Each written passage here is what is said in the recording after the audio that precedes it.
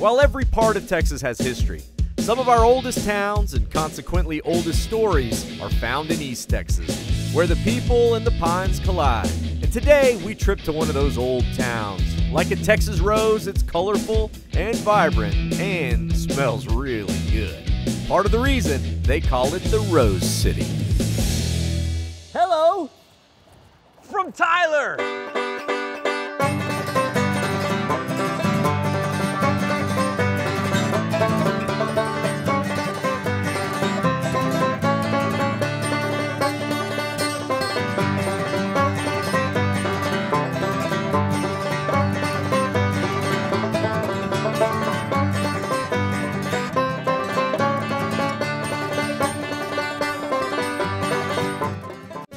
This episode was made for y'all with the help of our awesome partners. Check the caption for more info.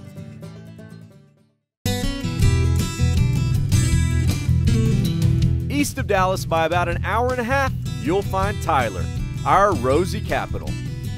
Named after John Tyler, the President of the U.S. when Texas became a state in 1845. A year later, this town was founded. And because of its age, many of the buildings here predate the Civil War. In fact, the old red brick streets and many of the old homes still exude a sort of antebellum southern charm. Here at the center of Smith County, Tyler has enjoyed more than a century of affluence. Cotton, lumber, oil, and finally the cash crop that really made Tyler famous, roses. And no better way to stop and sniff it all in than right here at the Tyler Rose Garden.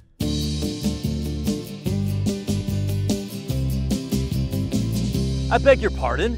Actually, I did promise you a rose garden. And here it is. I mean, we are in Tyler. But this city garden was started in the 1950s when the Tyler rose industry was so big, they literally supplied over half of the roses sold in America. So this garden was sort of planted as a living, breathing catalog for at-home gardeners to come and pick out their favorite variety. Because I mean, you have rose colored and rose scented and rosy posy. I uh, know nothing about roses. I really don't. But you don't have to be a trained horticulturalist to know a pretty rose when you see it. And even an uncultured man like myself can appreciate the beauty, the aroma, the enchanting magnificence and mesmerizing scents coming. Okay, I'm getting a little carried away. But this is a great place to slow down and, as they say, smell the roses. But there's another attraction here a museum dedicated to the Queen of All Roses and the festival that begins her reign. This is Museum Director Liz Ballard. This is incredible. Yes, it is. This actually houses all of the history of the Texas Rose Festival that dates back into the early 1930s. But this definitely ain't a normal festival. Think of it as Tyler's debutante ball mixed with Mardi Gras, mixed with the costume design of a little girl's princess fantasy and it happens every October when the court is named and the queen is crowned, wearing the most extravagant dresses. This one right here, she was the queen in 2001. Her theme was Legacies of the Lone Star State. So as you can see, her collar up on the gown has blue bonnets and... The, the trains alone are mind-blowing. They're beautiful. How long are they? They're about 15 feet long, and it takes about six months for about eight people to work on them full-time. The Queen and the ladies in waiting are local Tyler girls who are 19 years old. The duchesses of the court can come from any town in the country, but every dress comes from the mind of one designer. Incredible. Yeah. And there, here we go, a throwback dress. That's 35? 1935. She actually had two great grandchildren that were in the court this year. So we've got several families that are on the fourth generation of participation. Wow. So there's a big legacy component to this. Yes, there is. There is. So, how does one become queen? Well, it isn't a pageant in the traditional sense, but has to do with the young lady's family, volunteerism, and of course, her long standing connection to Tyler. Now, uh, don't take this the wrong way, but y'all know y'all are crazy, right? We're a little over the top. We yeah. do know that. well, I mean, that's not a bad thing. Texans no. have always been a little crazy. Right. I mean, I do really appreciate the fact that it's mm -hmm. this long-standing tradition and legacy and culture and history. Yes. I think a lot of these things are getting lost. Mm -hmm. But my gosh, it is just, it's, it's It's over the top. It is over the top, and each year it has progressed to be even a little more over the top. But isn't that kinda what makes it special? I mean, after all, what would the world be like without crazy people? And so for that, I salute you, crazy rose people of Tyler. Well done.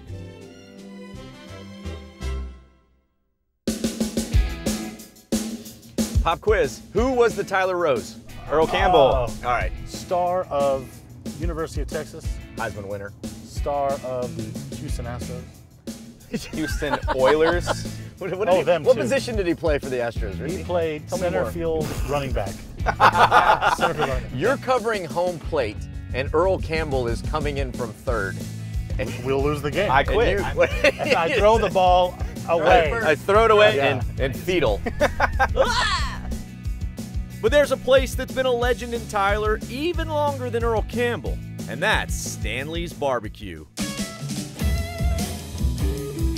Opened in the 1950s under the watch of Mr. J.D. Stanley, he forged a solid reputation for his East Texas style of Q. And in 2006, the Firebox passed to current owner and pit boss Nick Pencis. We got some beef ribs working up here. I love This it. is Some brisket trimmings that are just too good to, you know, not make something awesome out of. We'll chop them up. Wait, okay, so you're not just gonna trim it and discard it. Like, let's start with the trimmings. We're in East Texas, man. It's about chopped brisket. Oh, so okay. We got to have something to chop chop up. Waste not, my friend. Yeah, and then you know we got finished real deal Holyfield briskets in here. Is this just salt and pepper? It's just salt and pepper. nice. And you know, to really get a feel, you hear things, smell things, and you certainly have to start feeling things and understanding. I mean, your hands are always going to be the best way of knowing when these bad boys are ready to come off. Is that what you may, may I? Yes, please. So this, yeah, this is a little bit of the the lean part of the front of the brisket. Um, That's so good. tasty and delicious. Nick has turned Stanley's into a nationwide destination and even won some of Texas barbecue's highest honors without compromising what makes East Texas barbecue East Texas barbecue. So this is what we do. Yes. So we are in East Texas. Pretty different style of barbecue. I I appreciate that, and I like people who are sticking to that tradition instead of just, let's say, mimicking a famous place in Austin. Sure. You know, I'm I'm just the current torch torchbearer. I didn't start this place 60 years ago. It's an East Texas barbecue joint. The sandwiches are always and probably will be the number one seller here. Just always. Yeah. Can't miss sandwiches like the smoked chicken mother clucker. And then there are the tacos. Oh, the tacos. But there's one special sandwich that comes with a taste of history the brother in law, that's been served here for decades. This is the first thing I ever ate at Stanley's. This is a hot link that's smoked and some sauce. Melt a piece of just plain old American cheese, pile some chopped brisket on it. It's There's nothing wrong with this sandwich. No. Like the sourdough bun. People like- talk smack. Why are you putting cheese on it? Just try it. Oh, it's yeah. just so good. All right, man. Ribs. Yeah. I mean, these are consistently called some best ribs in Texas, am I right? Hopefully, Dude, that's so good. they're really, really good. But it's got like a uh, like a southern sweetness to it, right? Like That, but it also has some, you know, close to the border spice kind of influence Yep. in it as well. I don't think I'm as bound to tradition as a lot of people. And I had never done this before. And this was something where we're like, we took it very seriously. Well, we're going to learn how to do this. But we're also kind of like, well, what can we do to make it ours? How can we have fun? And that really has been a really cool part of it is we have it, we do have the legacy of a name that's 60 years old okay. but we've also been able to inject our personality and our spin on it and get feedback from the Stanley family that, hey man, he would be really proud of you guys. Like he would be loving this. So Oh, that's cool. that makes us feel really, really good. That's great, man. Thank you. So after a good barbecue meal, well, you always got to find some dessert. And today, well, I went ahead to one of the largest, most under the radar operations in Tyler, the Tyler Candy Company. If you've ever bought one of those pink candy disc things from the gas station, well, chances are it was made in this building. And while they don't normally give public tours, well, we figured y'all would want to see this. Whoa, all right. Dickey's Jumbo Peanut Patty. What do you do for people who want the large peanut patty, though? We put two of them out. Two of them, yeah. This is owner Ron Sumacek. Tyler Candy Company has been open since 1941 and still uses some of the original equipment. This looks like the stuff that uh, helped us win World War II. It is. Is it really? Okay. It smells like a candy factory too. It smells like a lot of sugar. I can't smell it anymore. I've been here for so long. The only time I get a good smell of anything is when they're doing the peppermint oil. Okay. It just so happens they're making peppermints right now. Started off over there, Okay. cook- cooking the syrup. Then they put it over here and they dump it on this table. That's awesome. It's a big pile of sugar lava. Part of it becomes red, while the other becomes white as it's stretched. And here comes the peppermint oil. We might want to step away. that stuff gets strong. The camera guys are getting dusted. it's wafting towards you, Daniel. All right, burns the eyes just a little, right around here. Can't say he didn't warn us, but now I give you the world's largest peppermint. That's put into this contraption, squeezed and stretched, and cut into tiny pieces. Fresh off the line. Yeah, put that in your mouth. Doesn't that have a good peppermint flavor? Oh, that was delicious. And because it's still warm, it, it chews kind of like bubble gum at first. I don't believe you. There. Oh, yeah. Ooh, it is warm. It's warm, I told you. Ooh. It chews. Yeah. It chews like. That's really cool. Give one to Daniel. Daniel, you need one too. I'll take one, sure. Ah, that's right. This company is also famous for its pecan logs and old fashioned peanut brittle. But what I really want to know is how they make their signature pink peanut patties. Right here, we mix up 400 gallons of syrup every night. Wow. You guys are buying enough sugar to keep a small country in business, huh? And we buy it by the truckloads. Yeah. They take peanuts, pitcher of syrup, put it in here. okay. takes 30 minutes for it to go around and cook. Man, that's this contraption right here. Yes. A medieval looking peanut patty smelter. This thing's like something from a blacksmith shop in the Dark Ages. And after being cooked, the pink goo is scooped into a form that cools as it travels the road to my belly. Ooh! That's as fresh as a peanut patty gets. Oh, yes. Here we go. Oh, that's good. That's as good as a hot piece of pecan pie. Maybe better, you know? But we do a special process on the peanuts, so they still taste like ballpark peanuts. They do. You get them at- Yeah, you still get that saltiness. And you don't get that from a lot of other companies. Hmm. About 16,000 patties come off this line every day, making Tyler Candy Company officially the largest peanut patty producer in the world. Oh no! What happens to all the broken ones, Ron? Uh, you have to eat them before you leave. All right, okay. Whoa, whoa, whoa, whoa, whoa. Come on, boys, This let's tray, try. You're gonna eat that whole tray? I'm gonna need help, but we can do it. We can do it. Truthfully, the main reason to visit the factory is the small broken candy shop up front. It's the shop of misfit candy. But don't worry, Candy, you have found a home with me. Old fashioned brittle, some peanut patties, peppermints. Uh oh. What am I? I'm like a kid in a candy store, is what I am. Whew! As long as there's a Texan somewhere who loves sugar, there will always be a Tyler Candy Company. We now interrupt this programming to remind you to like and subscribe. Now back to the road. All right, no, for real. You're semi hungry. How many of these could you eat? It's hard to say when you're not semi-hungry though. All right, just you gotta. This is take some mind work, Daniel. You gotta think Okay. on this. Okay. You're- I could oh, eat half not of that. Hungry. Half. I could eat 71%. I could finish one. Oh, I could definitely finish. No, no, no.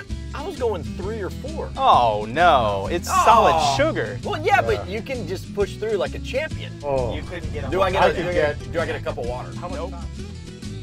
While it may feel like one, Tyler, Texas isn't really a small town. I mean, there's over 100,000 people who live here. And while it still isn't really a big city either, It's got a few attractions that could easily hang with the big boys, and one of those is the great Caldwell Zoo. So this is like one of those unexpectedly awesome zoos. You know, when you step into a smaller zoo, you never know what to expect, but I'm telling you, this one is totally worth the stop. They got lions, they got bears, they got lemur monkeys. I mean, what else do you want? Throw in some rhinos, a white tiger, and you got yourself a zoo. Oh yeah, can't skip the herpetarium. Oh man, there's not much creepier than a snake house. Officially a herpetarium, which I think is even a creepier word for a snake house.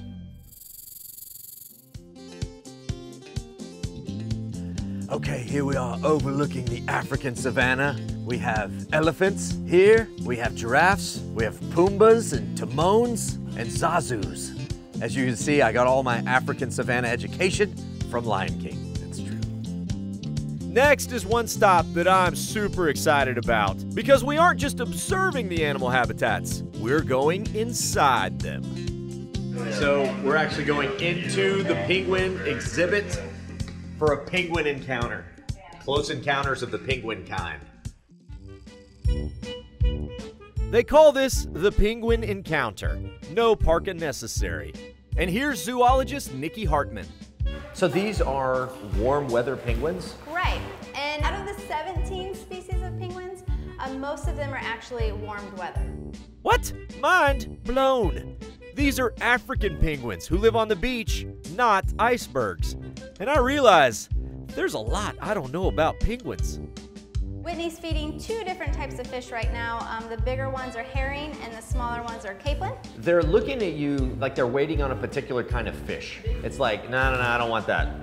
Penguins in zoos can be picky. They, Can they? We hand feed them three times a day. They, we don't limit how much food that they He's want. so cold. He didn't even care. He didn't even say no thank you. He just kind of gave you the cold beak, just like, uh-uh. Nope, not happening. Penguins got attitude, man. Yeah, Look at this so dude. this is Duncan. Duncan is the first hatched penguin at Caldwell Zoo. Hey, buddy. I want to pet you so bad, but I'm trying to be good. Duncan, we say Duncan's in his terrible twos, or he acts like that little brother, you know? Uh-huh. Always kind of pestering, always getting a little bit into trouble. Yeah, Duncan is my favorite.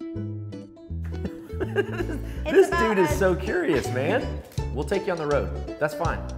We do go to the coast and eat a lot of really good fish. Sometimes I think you could probably have him.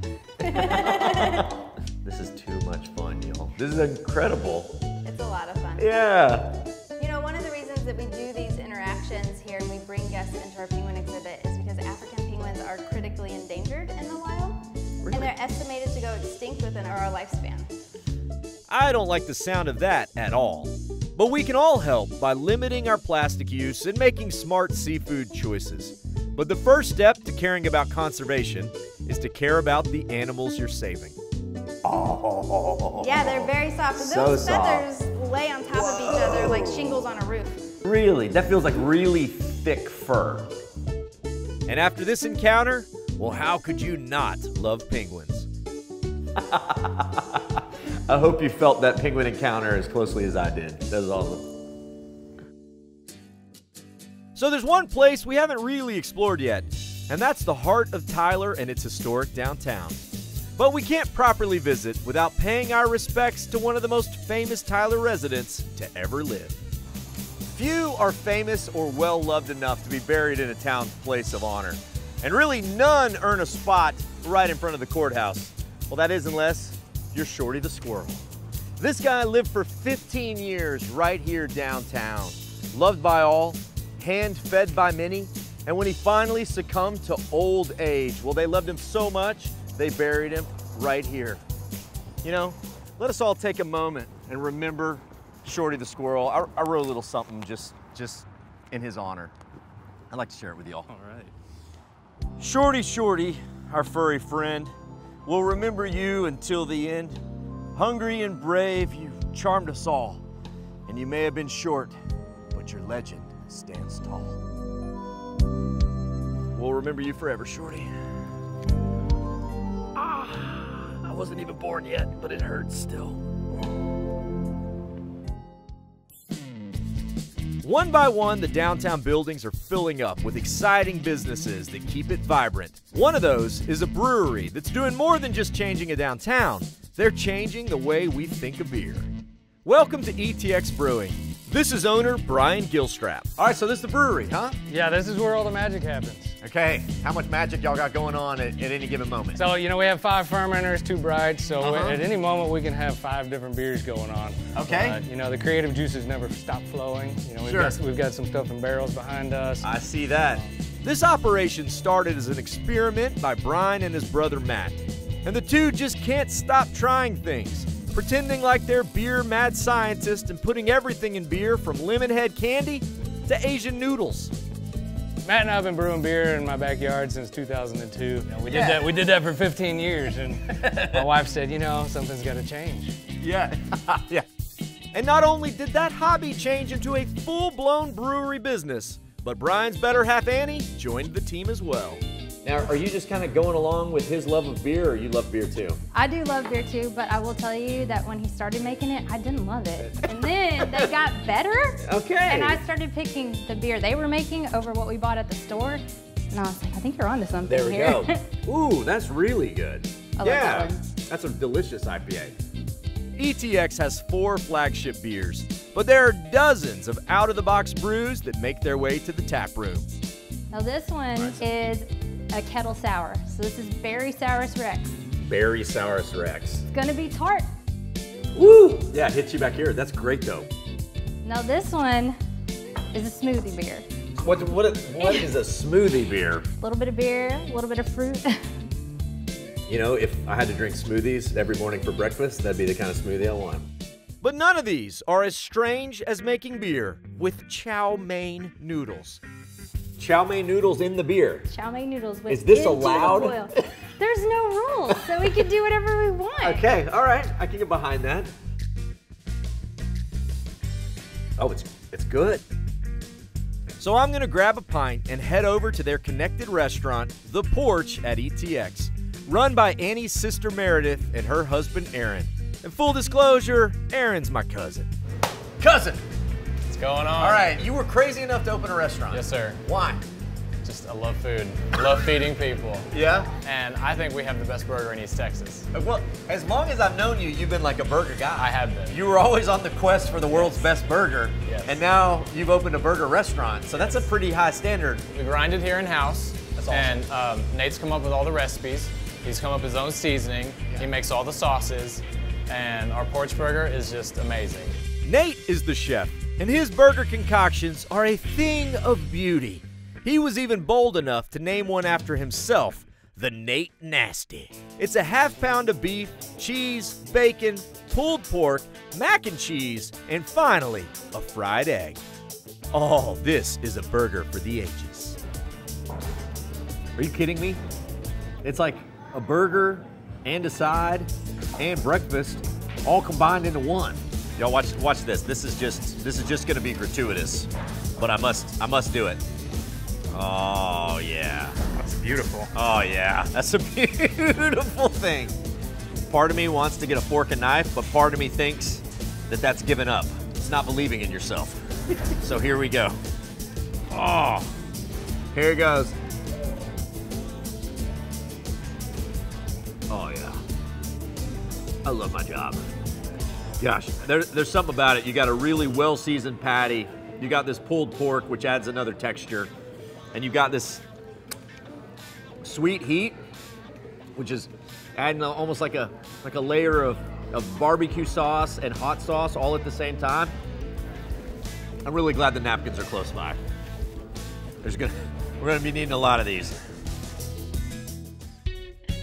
When you find a town with culture as plentiful as the buds on a vine, and food that's sweeter than the scent of fresh flowers, not to mention friendly locals even more colorful than their famous rose garden, well, that's a town worth tripping. And I know they say that a day trip by any other name would smell as sweet, but truthfully, none smells sweeter than Tyler. So I'll see all y'all out on the road. Bye con Dios, amigos.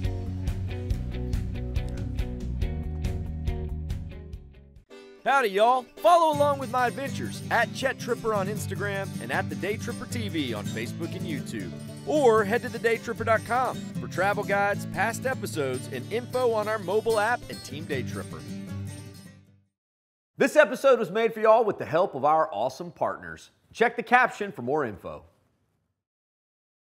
Howdy, y'all. Chet the Day Tripper here. Thanks so much for tripping with us. Uh, remember, while you're here, like this video, subscribe to our channel so that we can stay out there on the road and keep on tripping. Did we miss anything in this town? Leave us a comment, let us know. We love finding out about new stops with all your tips. And if you love Epic Texas Day Trips, remember to check our channel. We got a lot of them on there. Also, don't forget, if you want some sweet Day Tripper merch or another cool Texas made product, Come see us in Georgetown at the Day Tripper World headquarters. You can also shop online if you check the link down there in the caption. All right, y'all. Bye con Dios, amigos.